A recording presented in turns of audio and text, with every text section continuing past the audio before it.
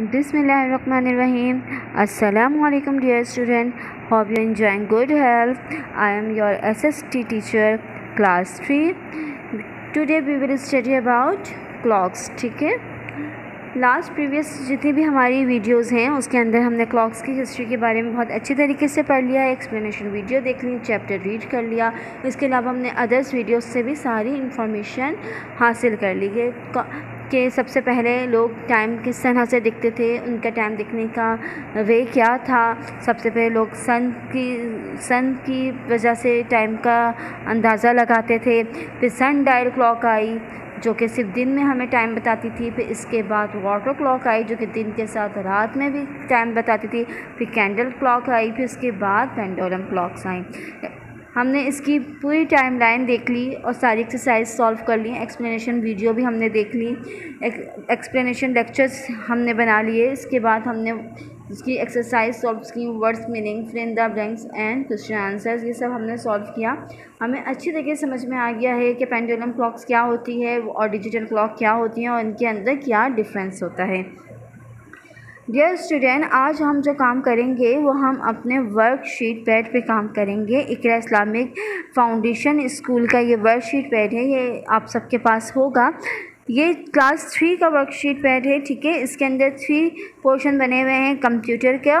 Three semesters के, first term, second term and third term के science के भी थ्री पोर्शन बने हुए हैं। फ़र्स्ट सेकंड थर्ड इस तरह सोशल स्टडीज़ यानी एसएसटी के भी थ्री पोर्शन बने हुए हैं। First term second term and third term. हम हर टर्म का लिहाज से उस, इस वर्कशीट पे काम करेंगे, ठीक है? अब आप एस एस टी का पोर्शन निकालेंगे, जो कि टेकआउट करेंगे, जो कि सबसे लास्ट में है ये पोर्शन सबसे पहले कंप्यूटर का दिया हुआ है, फिर साइंस का दिया हुआ है, फिर सोशल स्टडीज़ यानी एस एस टी का काम दिया हुआ है। इसका आप फ़र्स्ट टर्म का पोर्शन जो है फ़र्स्ट टर्म का जो वर्क है, वो टेकआउट करेंगे। और इसका पेज नंबर है ये फिफ्टी फाइव ठीक है? स्टूडेंट्स देख रहे हैं आप, ये फिफ्टी फाइव पेज नंबर है। और इस पे लिखा हुआ है draw the pendulum and digital clock हमें, यानी कि ड्राइंग करनी है ड्रॉ करना है पेंडोलम एंड डिजिटल क्लॉक को। सबसे पहले हम इस वर्कशीट पैड पे अपना नाम लिखेंगे डेट मेंशन करेंगे, अपनी क्लास मेंशन करेंगे। हमारी क्लास कौन सी है? थ्री ठीक है? हम थ्री क्लास मेंशन करेंगे। अब पेंडुलम क्लॉक आपको और डिजिटल क्लॉक इसी एक पेज पे दोनों चीज़ें आपको बनानी है। आप इसको बहुत खूबसूरत अंदाज में बना सकते हैं। इसके लिए आप अपने पेरेंट्स से हेल्प ले लें या फिर कोई वीडियो देख लीजिए, ठीक है? अपनी बुक में से भी देख कर बना सकते हैं, लेकिन आपको बनाने खुद है, ठीक है? आप हेल्प ले सकते हैं, किसी से मदद ले सकते हैं, लेकिन आप बनाएँगे खुद, आपकी अपनी ड्राइंग होनी चाहिए। यह आपकी पेंडुलम क्लॉक की पिक्चर है, ठीक है? आप चाहें तो इस तरह की ज़रूरी नहीं होती कि बिल्कुल परफेक्ट आप बनाएँ। देखें, कितनी प्यारी इस बच्चे ने बनाई हुई है पेंडोलम क्लॉक आप इस तरह की भी बना सकते हैं। आपको जिस तरह से भी अच्छी लगे, आप अपने वर्कशीट पैड पर ये क्लॉक बनाएँगे, ठीक है?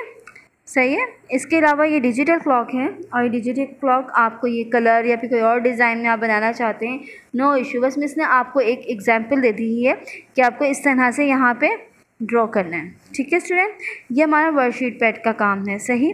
हमें अपने ट्रंक के लिहाज से, अपने चैप्टर के लिहाज से अपनी वर्कशीट भी हैंड टू हैंड कंप्लीट रखनी है। ओके स्टूडेंट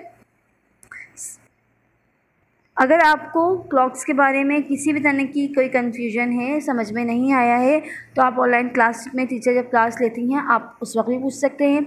इसके अलावा आप एक्सप्लेनेशन वीडियो जो प्रीवियस हमारी वीडियो हैं क्वेश्चन आंसर्स की वीडियोस हैं टाइम लाइन जो हमने बनाई थी, वो सारी वीडियोस आप देख सकते हैं। उसके अंदर भी आपको बहुत अच्छी तरीके से डिटेल से मालूम चल जाए, पता चल जाएगा कि कौन सी पेंडोलियम क्लॉक है और कौन सी डिजिटल क्लॉक है, इस तरह से आप इजीली अपना काम कर सकेंगे। ठीक है? उम्मीद है आपको मेरा आज का काम अच्छा भी लगेगा और मुझे यकीन है आप लोग बहुत शौक से काम करेंगे, आखिर ड्राइंग है। ठीक है ओके अल्लाह हाफ़ स्टूडेंट